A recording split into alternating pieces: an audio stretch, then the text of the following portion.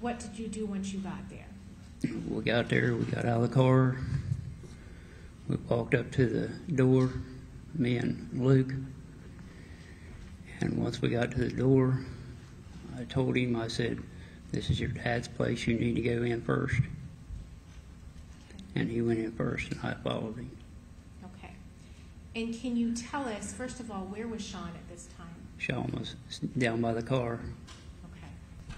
So he did not walk up to the property with you or, No, or enter the no. residence? Where did you guys park? We parked behind the truck, Kenny's truck. Okay. And you know Kenny's truck? Yes, Okay. When you walked up to the residence, did you notice, uh, was the door unlocked? yes, Okay.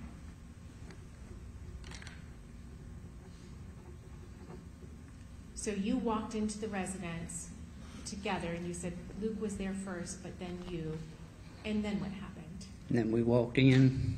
He, we walked into the supposedly the living room, and I noticed to the right. I didn't see him in there nowhere, so I seen a stairway to the right, and I walked up the stairway, and that's where I found him up there in his bed. Okay. And when you say you found him, who did you find? I found Kenny.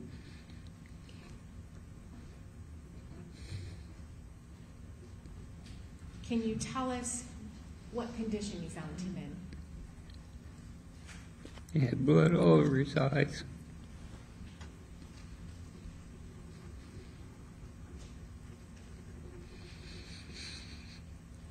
And where was he located?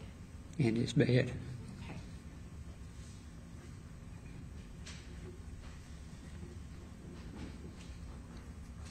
Did you believe him to be dead or alive at that time? He was dead.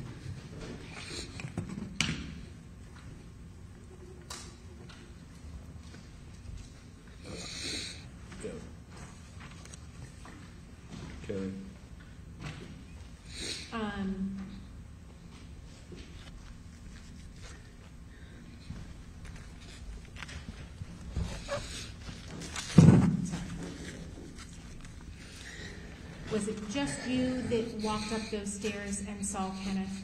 Yes, Okay. Um, when you saw him, first of all, did you touch him at all? no, Okay, so you did not touch the bed at all or move anything? no. Okay. Um, what did you do then? We went straight back out the door. Okay. And, and then what did you do? We, uh, well, when we was out on the porch, Luke asked me if I could help him get some of his, some things, and then we walked out to the building. He wanted us to walk out to the building. He thought maybe somebody might have been in the building. Okay. And where was the building located? Located outside the camper, beside the camper. Okay. And did you ever enter that building yourself? Just wa- opened the door. Okay. And was there anybody in there? No, Okay. And did you see anything in there in the building j- itself? just marijuana. Okay. So there was marijuana in that building? Yes, Okay. Um, did you touch or move anything in that building? no, Okay. And prior to that moment, did you know that there was marijuana in that building? no. Okay.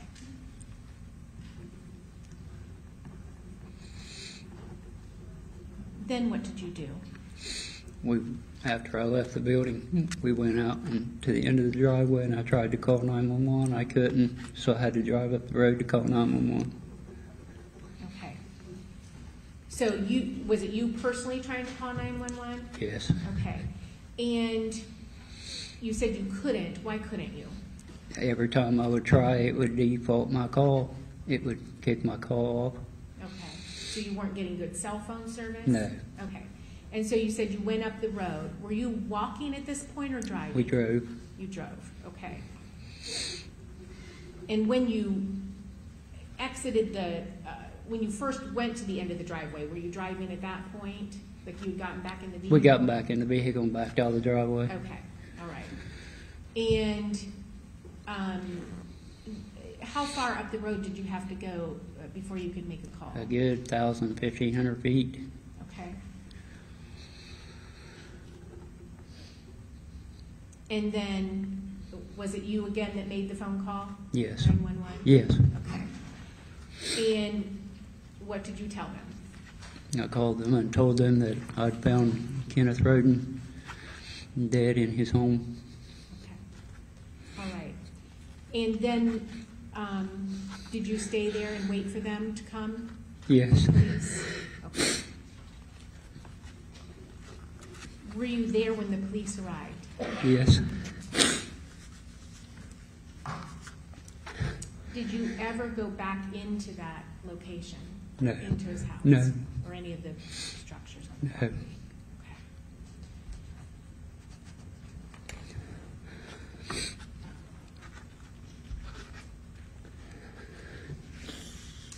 Um, yeah, okay, I guess, yes.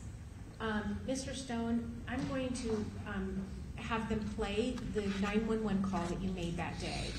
I just want you to listen to it, and then afterwards I'll ask you if you, if you recognize it, okay?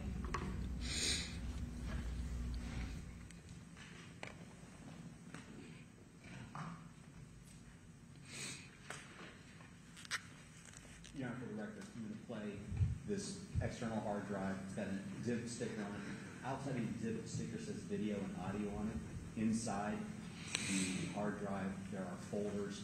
There's a folder marked O, 911 calls, Facility States Exhibit O2.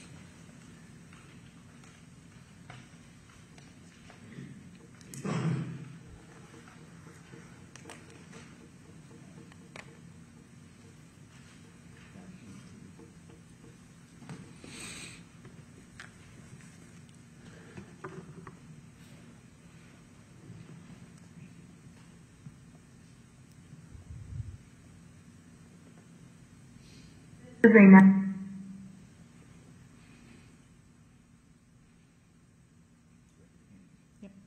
911 call. Conversation recorded on April 22nd, 2016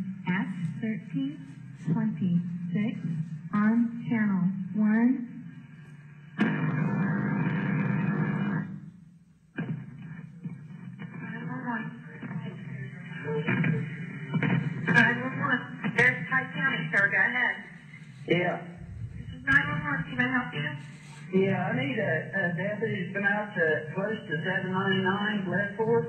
Okay. Uh, it's, all this stuff is on the news. Um, I, I just found, just found my cousin with a gunshot wound. Okay. Sir, is he alive? No, no, Okay. So you're at seven ninety-nine West Fork? it's close to seven ninety-nine. I don't know what his address is. You don't, you don't have a box. You don't have a box. Okay. I'll be standing out by the red wake on What's your name, sir? Donald Stone. Donald Stone? Donald Stone. Stone? I- Yeah, I'm his cousin. What's his name? Kenneth Rhoden. Kenneth Rhoden? Yeah. Okay, sir, are you out of the house? I'm out, I'm out of the house right now. I just went in, uh, hollering at him and I checked the uh, and I looked up at him, he had a gunshot wound. Okay, sir, we're gonna get deputies out there to you, okay? All right. Take care.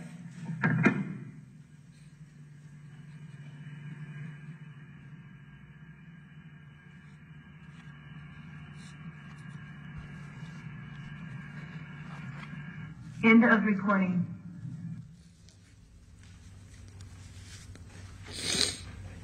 Do you recognize that phone call? Yes. And is that the 911 call that you made um, that afternoon um, on April 22nd, 20 of 2016? Yes. Okay. Um, Mr. Stone, you indicated on the 911 call that you believed it was a gunshot wound. What made you say that? It's just, there's extremely a lot of blood all over his face. Um, and you indicated on the nine-one-one call that you hollered at Kenneth when you entered the residence? Okay. Yes.